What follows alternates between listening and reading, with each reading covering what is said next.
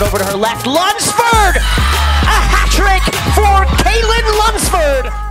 Rubenstein, Sayer, she leaves it. It's Maya Doms with a second for the home side. She just can't stop scoring. Welcome to the Laney College broadcast gantry. Alongside Ridge Mahoney, I am Charles Wollin for the second week in a row. Jack McInerney goes to ground, and he's won a penalty. Arshia Baba in goal. And here is Jack McInerney. McInerney, he does it again for Oakland, time and time again. Here is Cook. Speaking of shining, it's Cook. She gets her goal, her sixth of the season. Oregon's back in it.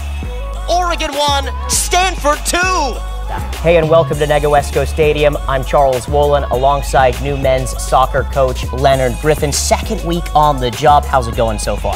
Um, non-stop excitement. It's uh, hit the ground running straight off the plane into training.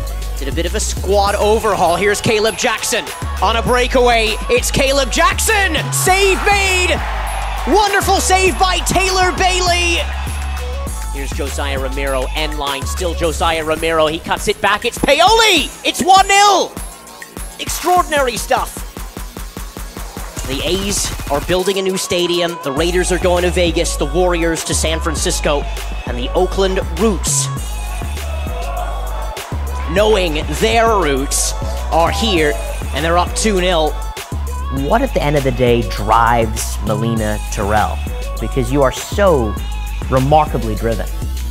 I've always wanted to be a role model, a positive role model. Welcome to the Black and Azul studio for season number two. Yes, season two.